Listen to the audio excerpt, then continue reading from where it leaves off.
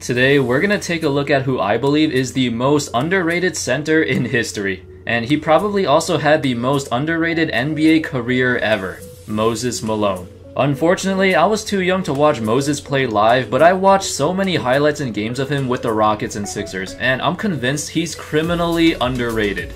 When people talk about the greatest centers in history, Moses Malone is always an afterthought. It's always about guys like Kareem, Wilt, Russell, Shaq, Hakeem Olajuwon, David Robinson, and even Patrick Ewing. I'm not knocking them as they definitely deserve the recognition, but I believe Moses is just as good or maybe even better than some of those guys I mentioned. Let me just start off this video with this stat line. 31.1 points per game and 14.7 rebounds per game, which also includes 7 offensive rebounds per game, on 52% from the field. That was his season average for his 1981 82 season, where he also won the MVP. For his career, he averaged 20.3 points per game and 12.3 rebounds per game on 50% from the field. Now, he wasn't a great passer, and defensively, he was nowhere near guys like Bill Russell or Hakeem Olajuwon, for example. But he was just so ridiculously good at scoring and rebounding, while also being a career 76% free throw shooter, which is amazing for a center and higher than all of those guys I mentioned earlier. Additionally, he was also a 13-time All-Star, 8-time All-NBA, and 3-time MVP. The only centers in NBA history with more MVP awards than Moses were Russell, Wilt, and Kareem. Let's take a break from stats for a bit and just watch what he did on the court. Moses was a beast and played in a way that we've never seen from anyone else before. He wasn't that big, being listed at only 6 foot 10 inches tall. For a center who played in the 80s, he was actually pretty undersized, yet he was dominating guys much bigger than him. Throughout NBA history, centers are usually put into different categories. You have finesse centers like Kareem or Hakeem, strong power players like Shaq or Ewing, or defensive anchors who do everything. However, Moses did not specialize in any of these categories. He was bullying people in the paint, but he also had an incredible basketball IQ. He studied angles and positions to put himself in the best spot to grab offensive rebounds. Sometimes he would just throw up a bad shot on purpose just so he can grab the offensive rebound and get into a better position to score the ball.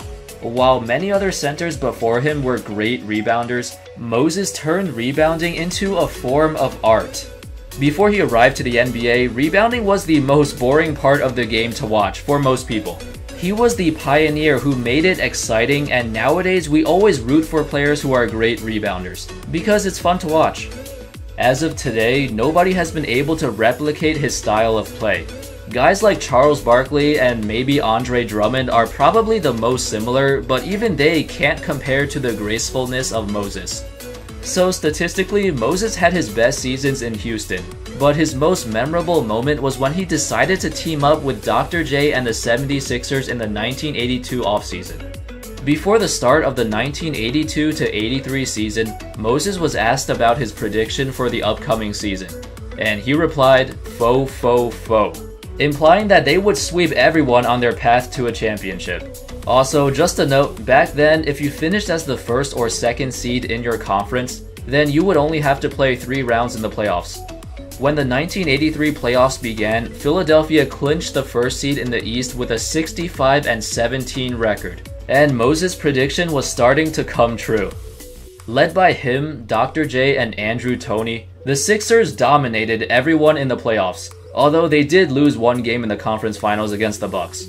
They reached the finals for a rematch against the Lakers, who defeated them in the previous year. But this time, with the addition of Moses, the Sixers swept them easily. Moses destroyed the Showtime Lakers with averages of 26 points and 18 rebounds per game. He scored the most points and controlled the glass for the entire series, grabbing over twice as many rebounds as anybody else on either team. This was one of the most dominant individual performances in finals history and he did it against arguably the greatest team of the 1980s. Additionally, Moses helped Dr. J win his first and only NBA championship, cementing both of their legacies in the history books forever.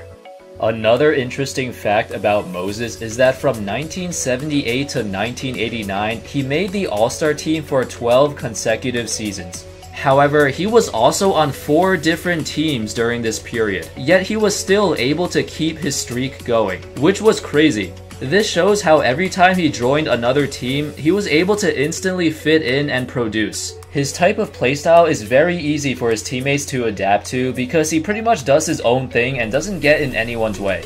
And even when Moses was struggling at times to score, his rebounding was always top notch. He never averaged less than 11 rebounds a game in any of his All-Star seasons, and he led the league in rebounding for 6 seasons.